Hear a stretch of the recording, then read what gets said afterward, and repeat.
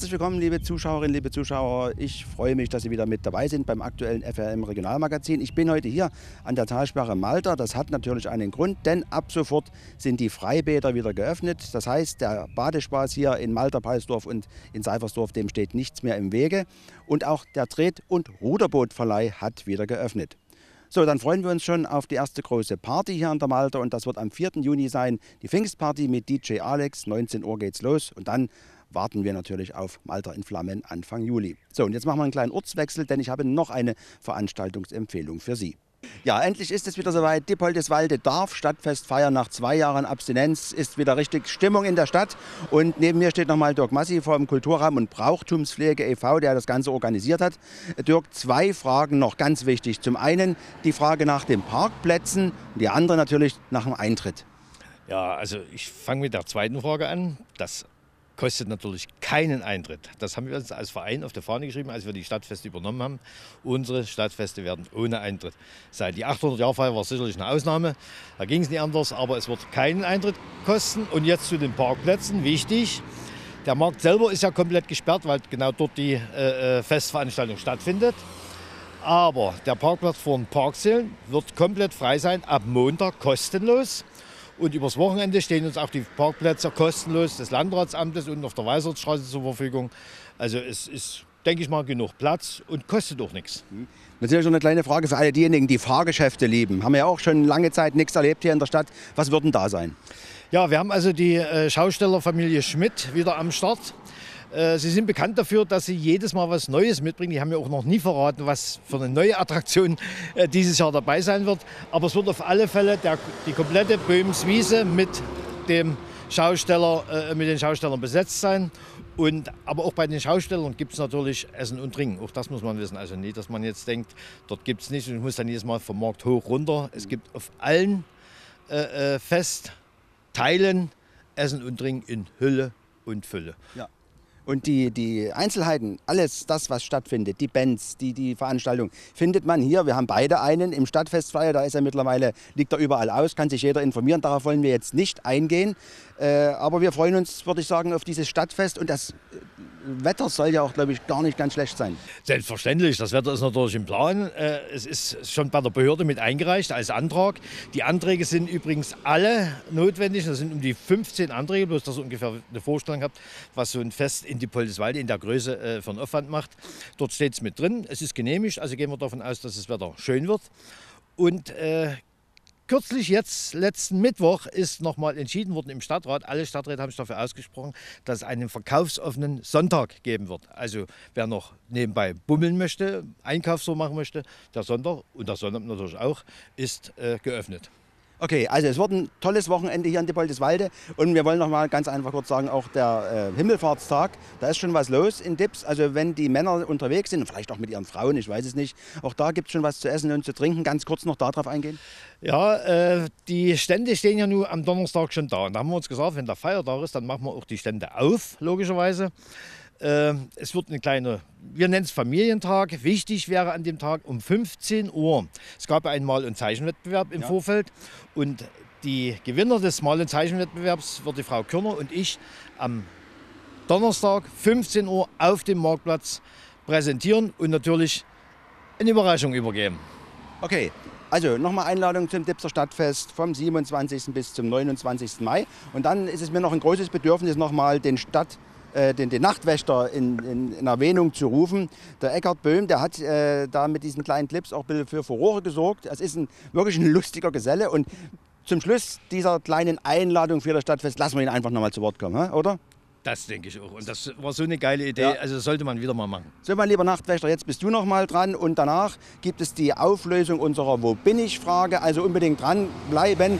Dazwischen haben wir natürlich noch ein bisschen Werbung und auch noch ein bisschen Wahlwerbung für die anstehenden Wahlen. Also dranbleiben ist ganz wichtig. Und danke dir, Dirk. Danke, Matthias. Ah, ne, ihr werdet mich nie losklicken. Auf, ihr lieben Leute. Eins möchte ich euch nämlich noch mal fix ans Herz legen. Vom 27. bis 29. Mai Remi Demi auf dem Marktplatz. No, und auf Beim Wiese unten ist der Rummel. Ja. Und wer es genau wissen will, mittlerweile sind ja die schönen Programmflyer schon im Umlauf. Da kann sich dort informieren. Ja, wenn er lesen kann. Ich meine, und wer nicht lesen kann, sind ja auch kleine bunte Bilder schon mit dabei. Da könnt ihr euch informieren, was auf der Festbühne so alles passieren soll. Naja, das wollte ich euch bloß noch mal mit ans Herz legen. Dankeschön. Wir sehen uns. Ah, ja.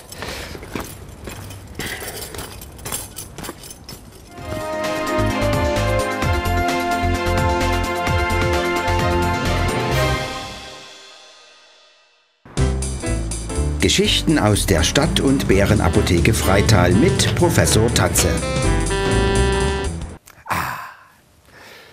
Vom Milchzahndöschen bis hin zu den Dritten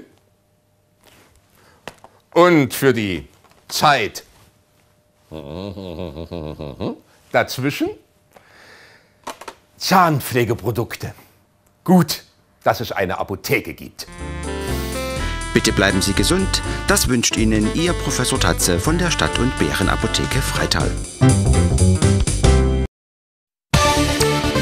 Herzlich willkommen in Ihren Expertfachmärkten in Freital und Pirna.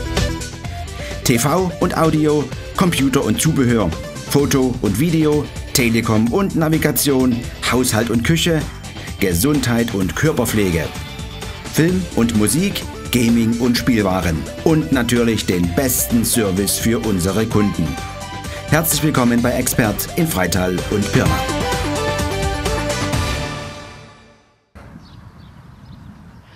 Hey, da sind wir endlich wieder. Auf dem Festplatz an der Ruine in Ruppendorf wird bald wieder gefeiert. Am Wochenende nach Himmelfahrt findet unser großes Dorffest statt.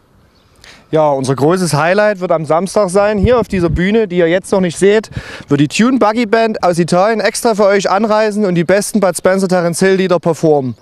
2009 gegründet, haben die Jungs schon beim Spencer Hill Festival in Lommatsch gespielt, in Templin, überall schon, vor 7000 Leuten. Mal sehen, ob wir auch so viel bekommen und freuen uns, dass ihr alle dabei seid und wir euch an dem Wochenende sehen.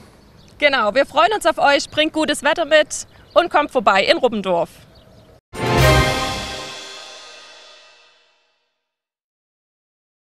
Wahlwerbung für die Oberbürgermeisterwahl in Freital und die Landratswahl am 12. Juni. FRM ist zur Ausstrahlung verpflichtet. Für den Inhalt sind die Kandidaten verantwortlich. Liebe Freitalerinnen, liebe Freitaler, am 12.06. ist Oberbürgermeisterwahl. Da bestimmen Sie, wo es die nächsten sieben Jahre lang geht. Kitas, Schulen, Feuerwehr, Straßen, das ist alles etwas, was jeder Bürgermeister auf dem Schirm haben muss. Aber ich möchte mit Ihnen zusammen mehr erreichen. Ein Freital, das zusammenwächst. Stichwort Umgehungsstraße, Stichwort Bürgerhaus. Ein Freital, das an Wirtschaftskraft wächst. Stichwort aktive Ansiedlungspolitik. Fürsorge für die, die als Wirtschaftsakteure schon da sind und Energiesicherheit. Und als letztes und wichtiges ein Freital für alle. Stichpunkte Lust machen auf mehr. Stichpunkt Jugendstadtrat und Projekte, die ein wertschätzendes Miteinander von Senioren und Jugend bringen. Wenn Sie das alles wollen, dann treffen Sie am 12.06. die beste Wahl für Freital, Peter Reinholz.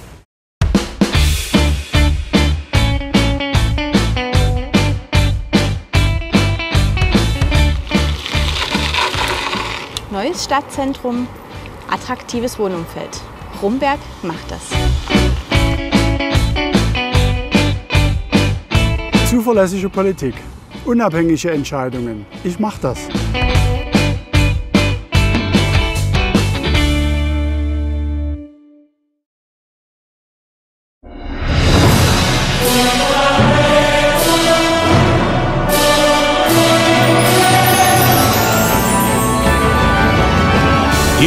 Morgen dieselbe Tat. Die Familie steigt ins Hamsterrad, das Bruttosozialprodukt zu erbringen. Selten Zeit für schöne Dinge.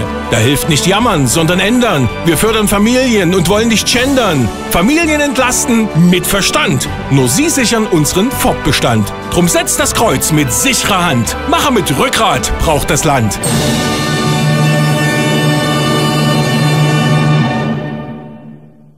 Guten Tag. Mein Name ist Ivo Teichmann, ich komme aus Königstein, bin hier im Landkreis Sächsische Schweiz aus Erzgebirge seit meiner Kindheit aufgewachsen. Wir wählen am 12. Juni einen neuen Landrat im Landkreis.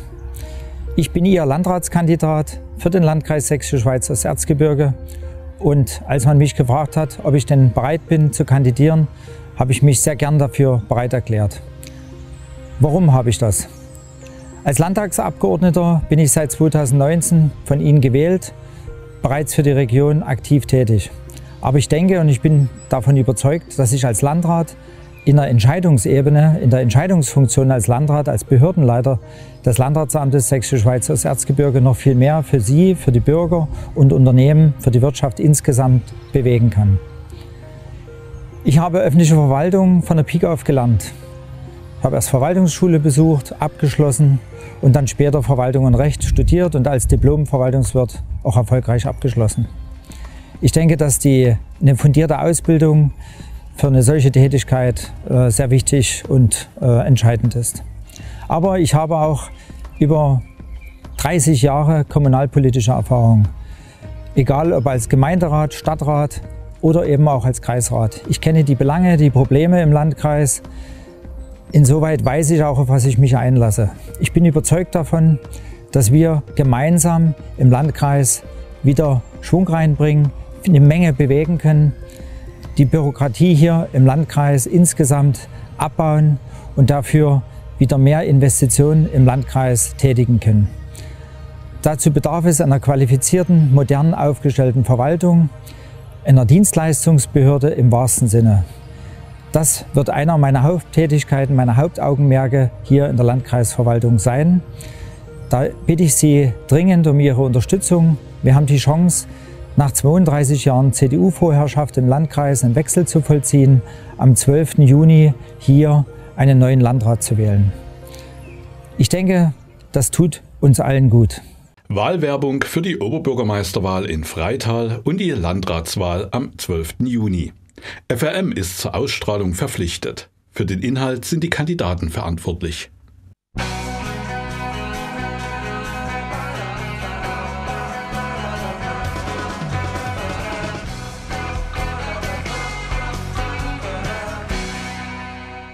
Herzlich willkommen bei Wo bin ich, dem regionalen Ratespaß bei FRM TV, exklusiv präsentiert vom Hyundai Autohaus Diepoldeswalde. Wir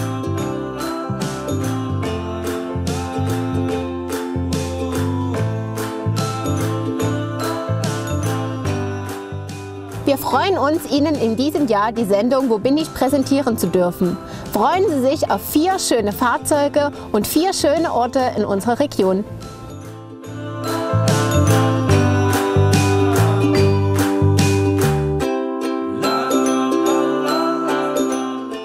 Ja, liebe Zuschauer, heute gibt es die Auflösung der Wo bin ich Frage von letzter Woche und ich habe mich schon eine ganze Woche auf diesen Wagen hier gefreut, den ich letzte Woche mal ganz kurz antesten durfte. Aber heute wird es ernst, der i30N Performance und äh, es gibt viele technische Raffinessen in diesem Fahrzeug. Aus diesem Grund habe ich hier einen David nochmal mit reingeholt. Äh, ich habe gesehen, es gibt fünf verschiedene Modi, die man einstellen kann. So sieht's aus. Einer ja. davon ist der N-Mode. N-Modus, genau. Wir haben einmal den N-Modus. Da ist alles voll auf Sport, Fahrwerk, Brett, hart, Motor geht los wie Sau. Und dann gibt es noch den N-Custom-Modus. Und da kannst du wirklich einstellen, das Auto so einstellen, wie du es gerne hättest. Dann gehen wir jetzt einfach mal rein, gehen mal rüber und gehen hier auf den N-Modus, hier auf Custom. Und dann kannst du hier wirklich jede einzelne Option dir so einstellen, wie du das gerne hättest. Zum Beispiel, wir gucken mal, wo ist die Aufhängung, die machen wir jetzt mal rückenschonend auf etwas weicher. Motor lassen wir auf Sport Plus, Auspuff lassen wir auf Sport Plus, Lenkung auch ein bisschen weicher und dann bist du bestens gerüstet. Jetzt aber äh, als, äh, muss man Fachmann sein, automobiler Fachmann? Oder ist das hier eine kurze Einweisung, mal zwei Stunden und dann kriegt man das auch hin? Das kriegt jeder hin, der da Lust drauf hat. Denn man muss es ja auch nutzen. Und wir ne? erklären es natürlich auch Und ausführlich. erklärt, deswegen seid ihr ein Autohaus. Richtig, professionelle Beratung. Krasse Sache. Super. Also ich bin gespannt, wie, wie mir das Auto gefällt. Wir sind ja die letzte, das letzte Mal elektrisch gefahren. Jetzt dieses, nicht. Dieses Mal nun die volle Power 200 und wie viel? 80. 80 PS. Ich muss mich anschnallen, Sonnenbrille aufsetzen und dann geht's Und ab. Attacke. Richtung äh, unseres heutigen Zieles. Dort erfahren Sie dann die richtige Auflösung natürlich. Und auf dieser Strecke gibt es jetzt halt den i30N Performance für Sie zum Testen. Ich versuche mein Bestes, Du steigst wieder aus. Du machst ihn nicht kaputt. Ich hoffe, ich hoffe, ich hoffe. Viel danke, Spaß. danke für die Einweisung und bis dann. Ja. Tschüss.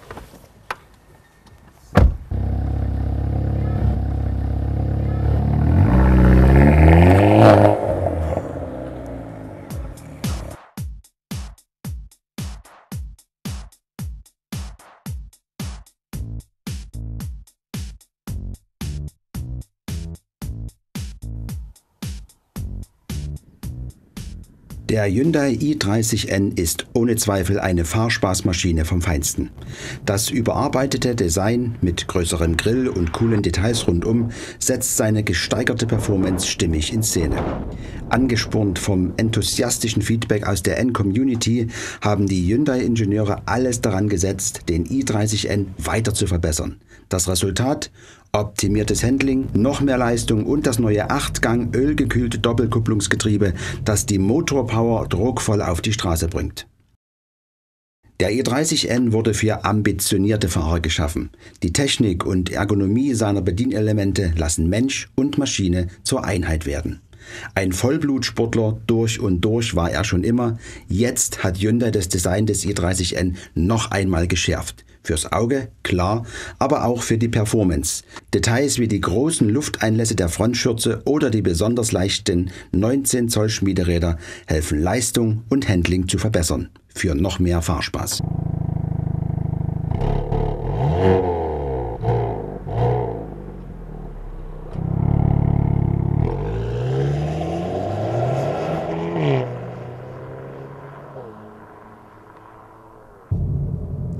Ja, liebe Freunde der gepflegten Unterhaltung, der Hyundai i30N Performance, das ist ein Kraftpaket, das ist der blanke Wahnsinn, das ist nichts für Weicheier. Hier muss man schon ein bisschen Lust aufs Autofahren haben. Sechsgang Schaltgetriebe oder wahlweise Achtgang Automatik. 280 PS stehen zur Verfügung. Es gibt verschiedene Fahrmodi, die man einstellen kann, um das Fahrzeug wirklich zu beherrschen. Und dann hat man auch alles hier auf dem Display. Und jetzt sind wir hier auf einer geraden Strecke. Und jetzt lasse ich den Hirsch mal röhren und vor allem der Sound, das sei erwähnt.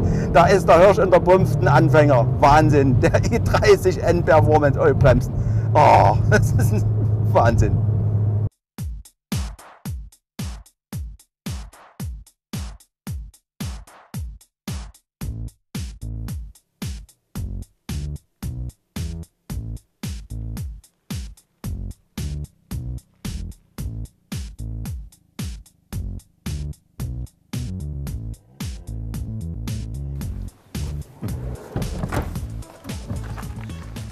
So, liebe Zuschauer, jetzt sind wir am Ort angekommen. Die Frage war natürlich ein bisschen kompliziert, aber wer lesen kann, war klar von Vorteil. Wir haben das ja in der Frage schon gezeigt. Es ist natürlich die Herklotzmühle und äh, der Urenkel des Besitzers, Stefan Herklotz, hat sich die Zeit genommen, uns heute mal kurz dieses, ja, dieses technische Denkmal zu zeigen. Genau. Dieses Sägemuseum. Sägewerksmuseum, Sägewerksmuseum, Herklotz-Müller. Glück zu ist der Gruß der Müller, also begrüße ich dich auch heute mal. Also Glück zu. Glück zu, genau. Genau. Wir wollen unseren Zuschauerinnen und Zuschauern natürlich zeigen, was man hier drin sehen kann. Wir wissen, am 6. Juni ist der Mühlentag, da wird wieder viel los sein und da kann man das Ganze auch äh, mal von innen betrachten. Aber das machen wir jetzt schon mal für unsere Zuschauer so. Na klar. Machst du mir eine kleine Privatführung? Gehen wir mal rein. Dann Schauen gehen wir wir. rein. Okay. Und zwar ist die Ersterwähnung einer Mühle an diesem Ort in Tal der Weißeritz von 1588. Das ist die sogenannte Oedersche Karte und das ist eine der ersten Karten, die überhaupt in Deutschland äh, gezeichnet wurde.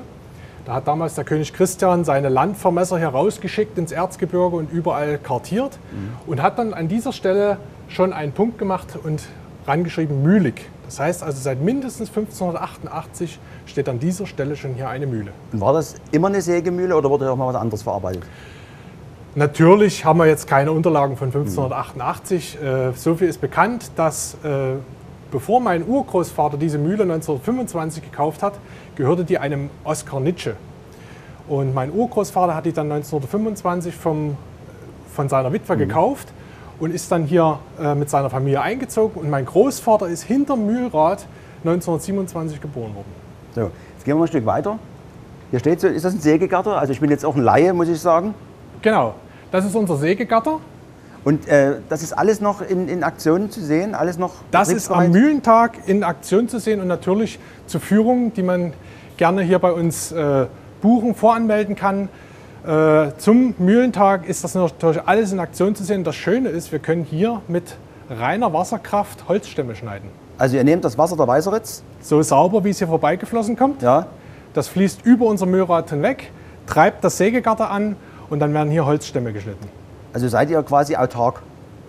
Theoretisch. Hochmodern sozusagen. Es ist, ist ja wieder in, ne? Genau, also ist alles wieder so als unter einer Glocke. Genau, Wir brauchen natürlich sind, das, natürlich sind das alte Maschinen Ja. und nach heutigen äh, Maßgaben kann man hier natürlich nicht pro produktiv irgendwas herstellen und arbeiten. Also es dient nur zu Museumszwecken. Mhm. Aber es ist schön, wenn Schulklassen hierher kommen und äh, interessierte Besucher und sich das mal anschauen, wie hier aus Holzstämmen Bretter hergestellt werden. Und das ist möglich am, zum Mühlentag oder auch sonst? Kann man Führungen buchen oder wie, wie, wie kommt man hier Genau, rein? also von April bis Oktober, jeden ersten Samstag im Monat, haben wir hier von unserem Verein immer unsere Arbeitseinsätze. Ist ja auch immer wichtig, so ein altes Denkmal da zu erhalten. Und äh, da ist immer jemand da, zwischen 9 und 14 Uhr kann man spontan vorbeikommen und dann halt zu den hauptsächlichen Tagen, das ist natürlich der Deutsche Mühlentag, immer am Pfingstmontag. Mhm. Und dann sind wir Teilnehmer am äh, Tag des offenen Denkmals, das Puppentheaterfest, das ist immer ein Austragungsort davon.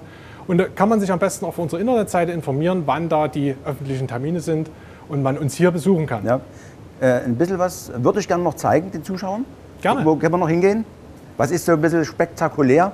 Spektakulär, wo sich was dreht. Ja, oder auch, auch gerade, es gibt ja viele Leute, die, äh, die sehen das Möbelstück im Möbelhaus und wissen gar nicht, wie Holz verarbeitet wird. Ne? Dass dann aus einem Baum ein Brett machen muss. Genau, genau. Also, wir haben hier ein paar Maschinen, die gehören eigentlich nicht ursprünglich zur Herklotzmühle. Die könnte ich jetzt mal zeigen, äh, dass, einer, dass man versteht und sieht, wie, man, äh, wie eine Transmission funktioniert. Wir können aber auch eins machen, das ist vielleicht ein bisschen interessanter, Mhm. wenn wir runter in das Herzstück der Mühle gehen, nämlich in die Transmission. Okay, also Transmission, das ist die Übertragung der Kraft Richtig. von der Welle auf die einzelnen Maschinen Ganz über, genau. über Bänder. Super. Hab Muss ich gar nichts erklären hier zusätzlich. Ja. Gut, gehen wir runter? Gehen wir runter. Okay. So, also jetzt sind wir hier unten im, im sag ich mal, Keller. Und das ist natürlich eine Sache, also da, da, da gehen mir die Augen über, sowas zu sehen, wie früher das alles funktionierte. Es Und das funktioniert Wahnsinn. immer noch. Es funktioniert immer noch und vielleicht, wenn der Mühlengeist hier einen kleinen Schub gibt, werden wir das gleich erleben, dass das Wasser eine kleine Unwucht bringt ins Wasserrad und dass sich das hier gleich nochmal bewegt. Wir befinden uns also jetzt hier im Herzstück. Im Herzstück der Mühle. Besser konnte es natürlich nicht sein. Der Mühlengeist, unser alter Sog, hat uns erhört und treibt jetzt mal ein bisschen was an, dass sich was bewegt hier. Also wir befinden uns im Herzstück der Mühle. Dieser Teil der Mühle steht tatsächlich unter Denkmalschutz. Das ist die wassertechnische Anlage der Herklotzmühle.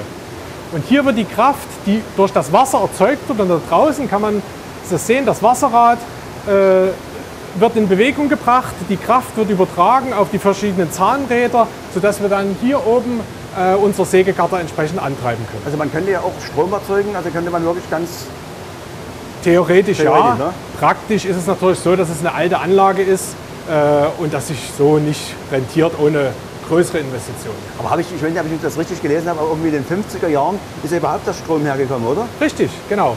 Also bis in die 50er Jahre war äh, das die einzige Energiequelle. Und im Wohnhaus drüben, was 1929 gebaut wurde, gab es erst gar keinen Strom. Das wurde so gemacht, dass sozusagen äh, der Strom kostenlos war. Das, der, der Lichtriemen war immer drauf abends, ne, wurde vom Treibriemen, der die Geräte angetrieben hat, auf den Lichtriemen umgeschalten. Und damit wurde im, im Wohnhaus dann Licht erzeugt. Das einzige Problem natürlich, wenn es Wasser knapp wird. Wenn es Wasser knapp wird, genau. Das ist aber äh, selten, aber es ist früher viel öfter vorgekommen. Deswegen wurden ja in, der, in äh, Weißeritztal die vielen Talsperren gebaut. Unter anderem auch die Malter damals.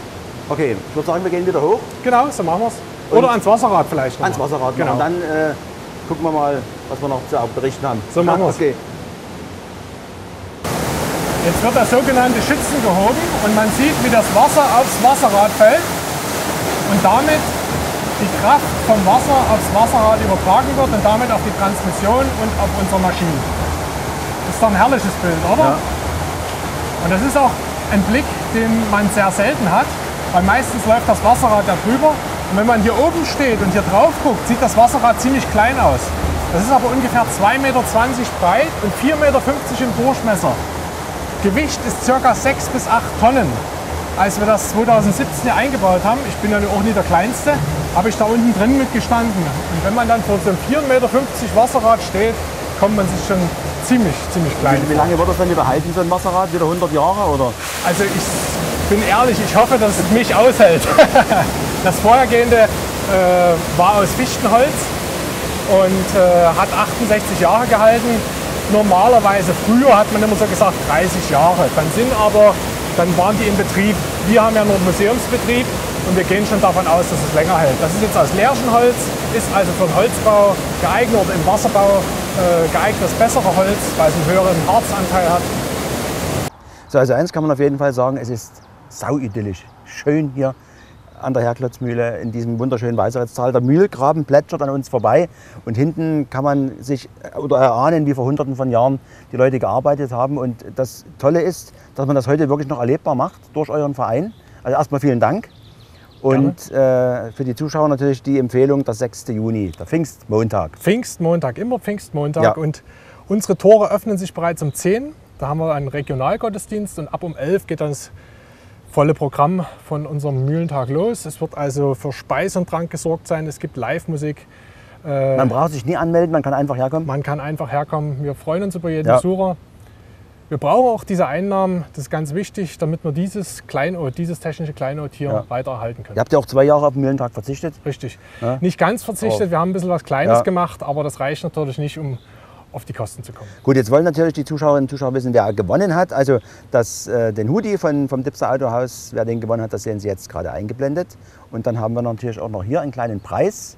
Was wird es sein? Genau, der Gewinner von uns, äh, der das rausbekommen hat, der bekommt eine Kamingeschichte vom Mühlengeist, also ein kleines Büchlein, was hier in der Corona-Zeit entstanden ist, weil wir zusehen mussten, dass wir auf ein paar Einnahmen kommen.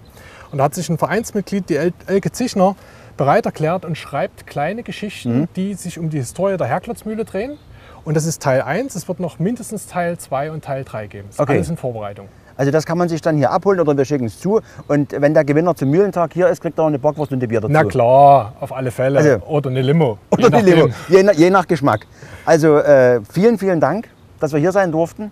Es hat mich wirklich gefreut. Ich bin das zweite Mal hier gewesen, schon lange her, wo wir das letzte Mal hier waren. Und ich kann Ihnen, liebe Zuschauer, nur empfehlen, besuchen Sie einfach mal die Herklotzmühle hier im idyllischen Tal der Wilden Weißeritz zwischen Seide und Rehefeld. Es lohnt sich, besuchen Sie die, den Verein zum 6. Juni zum Mühlentag. Und nächste Woche gibt es ein neues Wo bin ich? Da gibt es eine neue Frage. Also einschalten unbedingt und wir sehen uns dann vielleicht hier am 6. Juni. Bis dahin, tschüss. Vielen Dank.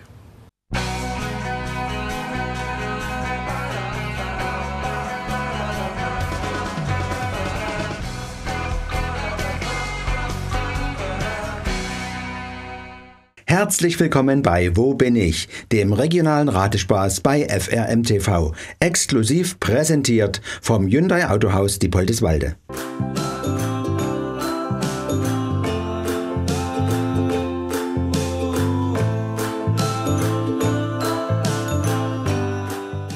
Wir freuen uns, Ihnen in diesem Jahr die Sendung Wo bin ich präsentieren zu dürfen. Freuen Sie sich auf vier schöne Fahrzeuge und vier schöne Orte in unserer Region.